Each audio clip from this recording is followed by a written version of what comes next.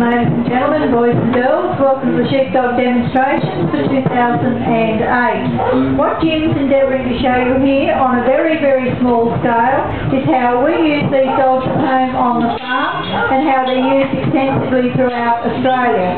Now just use your imagination a little bit and imagine Jim's at home. He'll be in the ute or on the motorbike.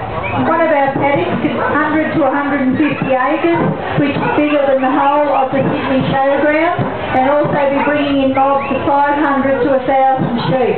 We're actually working here in this very, very small area, in a very small paddock. It's very restricting for both dogs and sheep. We're just trying to basically get the idea of a working dog.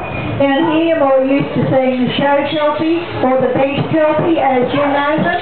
They're a shorter, stockier dog, and they're usually red or red and tan. Now, the area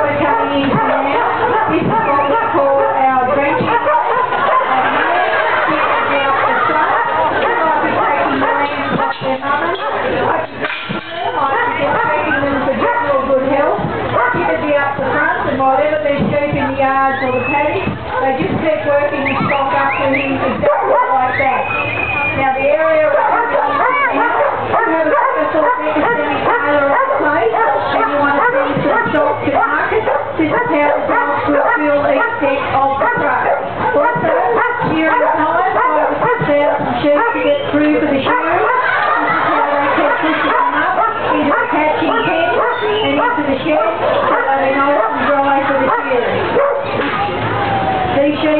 Brad Moreno. They got 12 months.